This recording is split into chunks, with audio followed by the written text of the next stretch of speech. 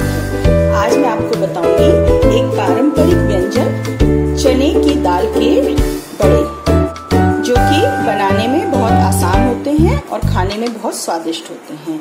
तो देखिए, उसके लिए हमने एक कटोरी चने की दाल चार पाँच घंटे के लिए हमने भिगो दी थी और उसके बाद इसे अच्छे से हमने धो लिया है।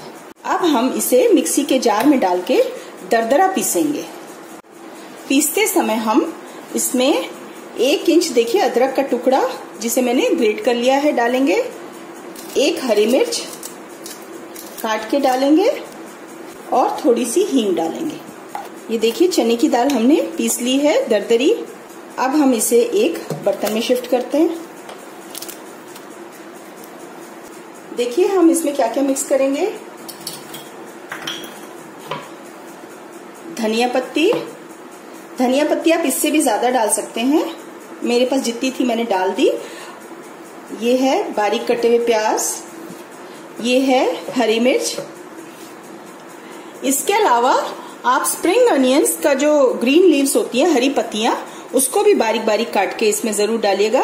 लेकिन आजकल लॉकडाउन के चलते मुझे वो मिली नहीं। और देखिए,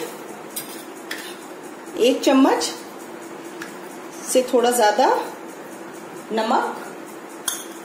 एक चम्मच धनिया पाउडर, एक चम्मच जीरा, थोड़ी सी लाल मिर्च स्वादानुसार, और इसे अच्छे से मिक्स करते हैं। अब हम इसमें बाइंडिंग के लिए, देखिए, दो चम्मच बेसन और एक से डेढ़ चम्मच ये कॉर्नफ्लावर, ये मिलाएँगे। देखिए, तेल हमारा गर्म हो गया है। ये मैंने चढ़ाने रखा हुआ था तेल। अब हम इसमें एक छोटा सा बड़ा डाल के देखेंगे। देखिए, वैसे तो बड़ा बन रहा है, लेकिन मुझे लग रहा है कि हमें थोड़ा सा बेसन या कॉर्नफ्लोर और मिलाना चाहिए। चलिए बड़े बनाना शुरू करते हैं। देखिए, हाथ में ऐसे बड़े लेके इसमें डालते जाएँगे।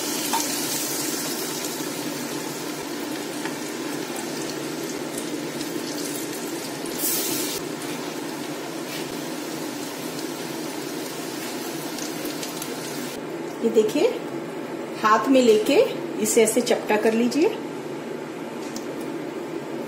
और धीरे से कढ़ाई में छोड़ दीजिए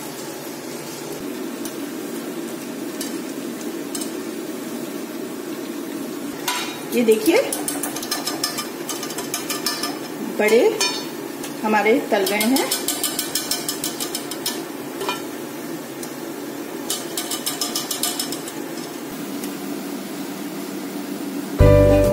तैयार है हमारे गर्मा गर्म चने की दाल के बड़े। अगर मेरी ये रेसिपी आपको पसंद आई हो तो प्लीज़ मेरे चैनल को